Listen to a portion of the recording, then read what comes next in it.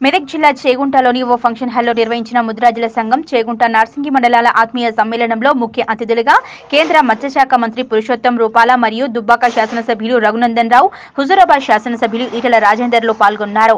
ఈ సందర్భంగా మంత్రి పురుషోత్తం రూపాల మాట్లాడుతూ కేంద్ర ప్రభుత్వం మత్స్యకారుల అభ్యున్నతి కోసం మత్స్య కార్మిక శాఖను ఏర్పాటు చేసి ఇరవై వేల కోట్ల రూపాయల నిధులు రూపొందించడం జరిగిందని మత్స్యకారుల సమస్యలన్నీ పరిష్కరిస్తామని భారతదేశంలో ఎక్కువ చేపలను ఎగుమతి చేస్తుందని భారత ప్రధాని నరేంద్ర మోదీ రైతుల అభివృద్ధితో పాటు మత్స్యకారుల కోసం కూడా ఆలోచిస్తున్నారని అన్నారు. మత్స్యకారుల సమస్యలు పరిష్కరించడానికి తెలంగాణ ప్రభుత్వంతో కలిసి చర్చించి పరిష్కరిస్తామని నరేంద్ర మోదీ ఆదేశాల మేరకు మత్స్యకారులు మరియు ముదిరాజుల సమస్యలు తెలుసుకోవడానికి తాను వచ్చానని కేంద్ర మంత్రి పురుషోత్తం రూపాల తెలిపారు. సందర్భంగా ఎమ్మెల్యేలు ఈటల రాజేందర్ మరియు రఘునందన్ రావులు మాట్లాడుతూ ప్రాజెక్టుల నిర్మాణంలో భూములు కోల్పోయిన మత్స్యకారుల కుటుంబాలకు ప్రభుత్వం ఆర్థిక సహాయం అందించి సొసైటీలలో సభ్యత్వాలు కల్పించాలని నీటి వనరులలో ఉన్న మత్స్య సంపదపై పూర్తి హక్కులు మత్స్యకారులకు ముదిరాజులకు కల్పించాలని అన్నారు. మత్స్యకారులు ముదిరాజుల సమస్యలు పరిష్కరించేందుకు తామంతా ముందుంటామని తెలిపారు. ఇవాళ ఇంతకుముందు చెప్తుంది సార్ నేను డిమాండ్ చేస్తున్న ఈ వేదిక నుంచి ఏ మత్స్యకారుల కోసమైతే నేను అన్నాడు వెంటనే ఎందుకు బ్రోకర్లు వస్తున్నారు? ఎందుకు చేపల చెట్ల మీద వీళ్ళు వీళ్ళు చేపలు పట్టుకోవట్లేదు వీళ్ళే ఎందుకు వచ్చేసుకోవట్లేదు అంటే సార్ వాళ్ళ పెట్టుబడి ఉండదు. ఏం కావాలని చెప్పండి. వీళ్ళు పెట్టుబడికి సీడ్ కావాలి ఐస్ ఫ్యాక్టరీ కావాలి డీసీఎంలు కావాలి ఎక్స్పోర్ట్ చేయడానికి చిన్న చిన్న ట్రాన్స్పోర్ట్ వెహికల్స్ కావాలి అమ్ముకోవడానికి వెహికల్స్ చిన్న చిన్న టూ వీలర్స్ కావాలి అంతేకాదు డబ్బాలు పెట్టుకోవాలని చెప్పి ఆ రోజు మేము ఉత్తరాలు కాదు నెల తరబడి ఆలోచన చేసి మనం కూడా చేసినాం. కానీ వాళ్ళ వాళ్ళు అంటున్నారు చేప పిల్లలు చేప పిల్లలు బ్రోకర్ల పాలు కావద్దు.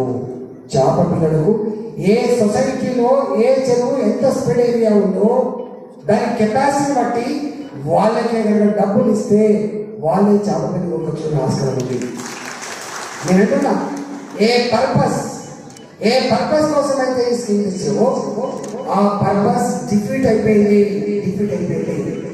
నీ బ్రోకర్ ఇచ్చే చేపలు లక్ష యాభై వేలు. నీ బ్రోకరించే ఇచ్చే పిల్లలు మా బిజినెస్ వేసుకున్నప్పుడు కిలో అయితే ఇవి పావు కిలో కూడా ఉండవు, పావు కిలో కూడా ఉండవు.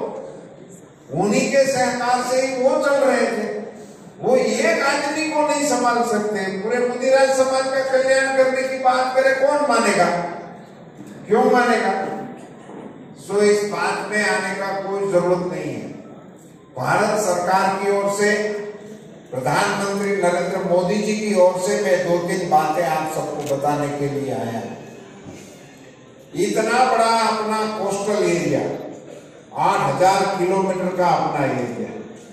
हमारा समुद्र एरिया दो लाख वर्ग किलोमीटर का दो लाख वर्ग किलोमीटर का हमारा समुद्र है। इतना बड़ा एरिया, इतना कोस्टल लाइन हमारा आठ हज़ार किलोमीटर का।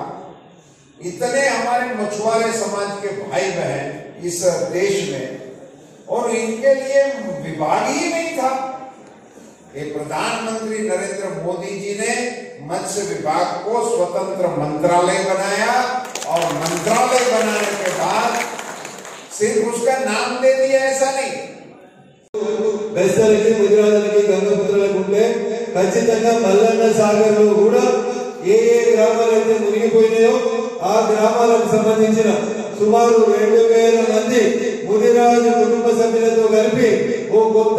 సొసైటీని ఏర్పాటు చేసి మల్లన్న సాగర్లో చేపలు పట్టుకునే హక్కు ముదిరాజ్ సోదరులకు ఇప్పిస్తామని చెప్పి ఈ సందర్భంగా ఖచ్చితంగా తెలియజేస్తాను ఇంకో పది రోజులైతే ఇంకో పది రోజుల తర్వాత మొదలు కాబోతున్నటువంటి రాష్ట్ర శాసనసభ బడ్జెట్ సమావేశాల్లో ఖచ్చితంగా మల్లన్న సాగర్కి ఒక సొసైటీ ఏర్పాటు చేయాలి. ఆ సొసైటీలో మల్లన్న సాగర్లో భూములు కోల్పోయినటువంటి గ్రామాలకు సంబంధించినటువంటి బెస్తా గంగపుత్ర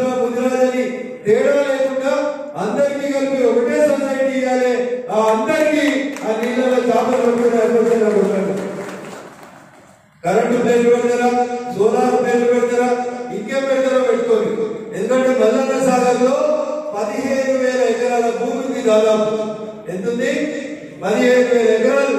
ఓ ఐదు వేల ఎకరాలలో మీరు కరెంటు ఖర్చులు కట్టుకోండి సోలార్ పేరు పెట్టుకోండి కరెంటు ఉత్పత్తి చేసుకోండి. కానీ మిగతా దాదాపు పదివేల ఎకరాల విస్తీర్ణం ఏదైతే ఉందో దానికి సెపరేట్ కట్ చేసి మాకు చేపల కోసం మాకే అప్పియాలి